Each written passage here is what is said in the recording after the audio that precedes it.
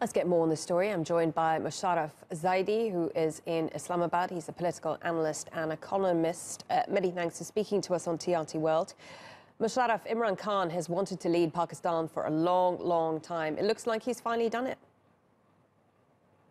It's a very big day for uh, PTI supporters, for Imran Khan himself. He began his political journey in 1996, shortly after winning the only Cricket World Cup that Pakistan has ever won.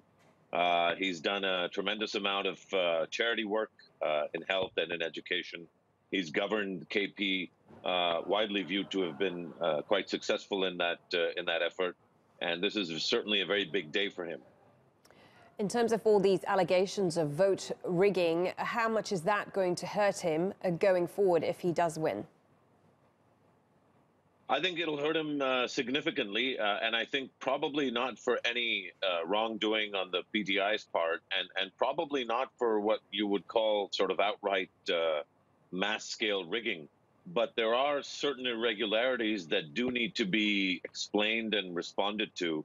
The delay in the announcement of the election results by the Election Commission of Pakistan, the excuse or the explanation that's being trotted out of a technical glitch causing the failure and the delay, the absence of uh, free access to polling agents of the opposition parties, the now opposition parties, uh, to the uh, polling process and the vote count in particular. I think all these questions are going to mar what should have been a really historic victory for the PTI. I still think it will be that, but I think it'll be marred by these allegations.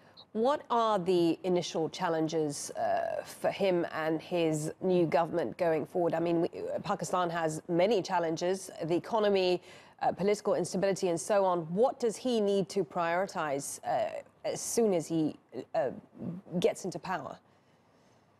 Well, uh, first of all, uh, you know, he still will need some measure of coalition, whether it's the independents choosing to join the PTI before the vote for the leader of the House, or it's some of the other smaller parties. Uh, uh, any combination of them could effectively deliver the required uh, majority that he needs, 137 seats.